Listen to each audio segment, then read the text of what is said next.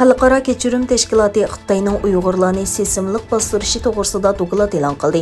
Халықара кечірім тәшкілатының пәйшәмбі күні елан қылған докладыда Қытайның Шарқы ке мұсылманларға қаршы еліп барған сесімлік бастырышы паш қылынған болып, ұйғыр, қазақ вән мұсылманланы асас қылған башқа асанлық милләтләргә қарата дәүләтнең қолы арқылық инсаниятке қаршы жинайы шәкилләндерүдү деп қаралған бір қатар фаалиятләрне еліп барғанлығы, бұларның сесімлік алды тұтып тұрыш, кейін қыстақ ва башқа зұлымларны өз ішіге отырғы отырға қойылған доклад tayyorlash jarayonida ilgari lagerlarga qamalgan 50 dan ortiq kishi ziyorat Сабық мәхбусла Қытай даирлерінің кішілеріне қанда қылып тілі, dini itiqodi va madaniyatidan voz kechishga majburlanganligini tasvirlab bergan 160 betlik dokladda yaqinqi yillarda 100 minglagan uyg'ur va boshqa musulmon millatlarining лагырлады tutib turilayotganligini va qiyin qissoqqa ilinganligi bayon qilingan va bu lagerlarning taqilishini talab qilgan Dokladda yana xalqaro jamiyatni Xitoydan insoniyatga qarshi jinoiy qilmishlarni to'xtatishni talab qilishga chaqirgan.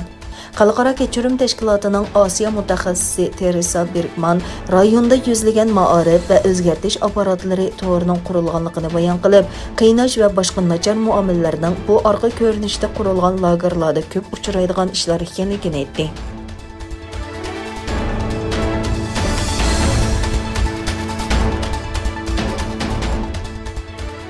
xitoy payshanba kuni amerika va yevropa ittifoqining savdo texnika xonkong va uyg'ur masalasidagi bisimini cheklash uchun chet elning jazosini bartaraf qilish qonun loyihasini ma'qulladi tunugun o'tkazilgan xitoy 13 uchinchi navbatlik mamlakatli xalq qurultiyi doimiy komitetining 29 to'qqizinchi qatimliq yig'inida bir qancha qonun loyihasi va ishga qaror ma'qullangan bo'lib yangidan chet elning jazosiga qarshi turish qonuni rasmiy ma'qullangan egilanishicha sharqi turkistondagi kishilik Қытай хонконды жолға қойған дәүләт бейхатерлік қануны сәбәплік Қытайның Америка ва g'arb davlatlari bilan bo'lgan тиркишеше кескенләшкән. Америка ва g'arb davlatlari birlikda Қытай şirketләре ва органлары әмді шарқы Шәрқи kishilik huquq хукук тәфсәнчилегегә җитешле Қытай ko'p көп қытым жаза shu Шу xitoy Қытай чат элнең җәзасыга каршы Amerikaning sobiq prezidenti Tramp bilim mulk huquqi va Hong Kong, Tayvanga aloqador masalalar sababli Xitoyga embargo yurgizgan edi.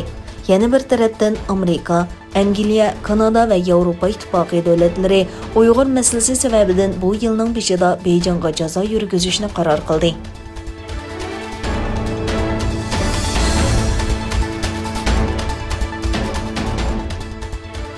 Япония бас министрі Суга Тайваньны дәүләт деп атаганнан кин Қытай Япониягә инкас қайтырды. Хәбәрләргә караганда, Япония баш министры Йошихиде Суга парламентта кылган сөзедә Тайваньны дәүләт дип атаганнан кин Хытай Япониягә инкас кайтырган.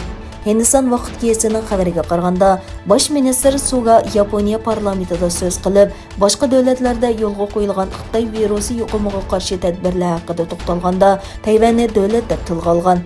Қытай Ташқышлар ішлер министрлігінің баянатшысы Ван Йинбен Суганың баянатының 1972 жылы имзаланған Қытай білін Японияның бірлішмі қытап намысыны ішіге алған төрт дипломатик келісімге қылаптық қылғанлығын айтқан.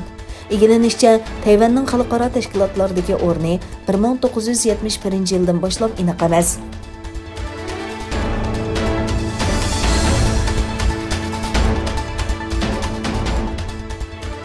Қытай Соды министрі Ван Йинтау ва Америка Соды министрі Джина Раймондо телефонлашқан болып, сода ва мәбліғ селішті сағлам тәрәқият ва әмкарлыққа капалетіл қылышның мұхимлықы тоғырсыда бірдәклік асыл қылған, шындақла бір қатар әндішелеріне отырғы қойған.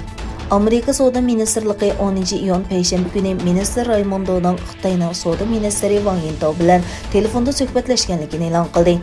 Раймондо Вангинтауға Байден хөкүмәтенең америкалык эшчиләрне мәркәз кылган икътисади сиясәтен тонышырган, шундыйлар Хытайның адалетсез ва базарны бурмылаган сауда сиясәтен әндише кылдыганлыгын белдергән. Хытай хөкүмәте бу вакытки баянатыда ике тарафтың бәзи мәсьәләләр ва көңел бөлдергән саһәләрдә әмәли көз карашларны отырга куйганлыгын баян қылды.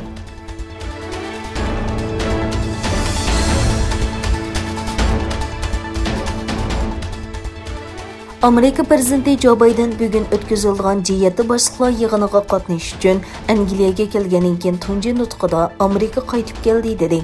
Байден Англияның Корнуал шәһәрінде өткізілген диеті башқылар йығыны үшін Англияға келді. О өзіні күтіп алған хава армия басыда нұтқы сөзілді. Amerikaning qaytib kelganligini ta'kidlagan Bayden demokratik davlatlarning kelgusidagi eng muhim va eng qiyin xiris va masalalarni yengishi uchun ular bilan birlikda turadiganligini oydinlashtirganligini aytdi. Bayden yana 500 million dora BioNTech va Pfizer vaksinasini sotib olganligini 100 yaqin tuvan va o'rta kirimlik qildi.